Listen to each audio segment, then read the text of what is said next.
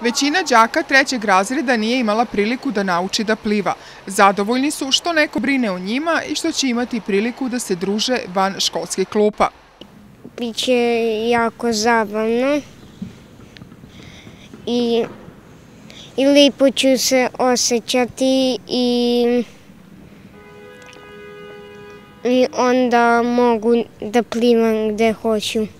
Pa mislim da deci i roditeljima i školi, prvenstveno i meni kao učiteljici, puno znači svaka donacija i svaka pomoć, zato što finansijski njihovi roditelji ne verujem da bi mogli da isprate ovako nešto, a i samo, samo, samim tim da dete nauči da pliva je veliki značaj u njegovom životu. Moram se zahvaliti i Udruženju Crnogoraca i lokalnoj samoupravi i u ekoteleviziji.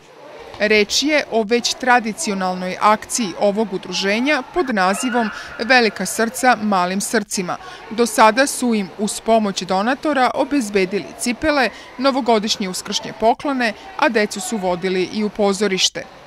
Uvek smo za ovakvu akciju, znači samo je potrebna dobra volja i znači mi ćemo naći neko rešenje, znači kao i sada što je bilo. Znači bili su prvi neki pregovori, razgovori, našlo se idealno rešenje, svi su zadovoljni i zašto da ne, ne kori svoje dece, sve ćemo raditi. Pa znate šta, Udruženje Crnogorac osim gajenja nacionalnih interesa odlučilo se da se drži i humanitarnog rada i na neki način smo uz pomoć učiteljice Nine izabrali ovo odelenje koje imamo nameru da pratimo do kraja e, njihovog osmogodišnjeg školovanja.